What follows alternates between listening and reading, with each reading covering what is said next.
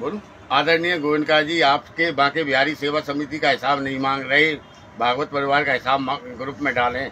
रही उद्देश्य की पूर्ति आपकी बार गोविंद जी की हुई है। बाकी तो पागल बने हैं। इस तरह से काम नहीं चलता। कृपया मेहरबानी करके खर्चा व आमद का हिसाब डालें।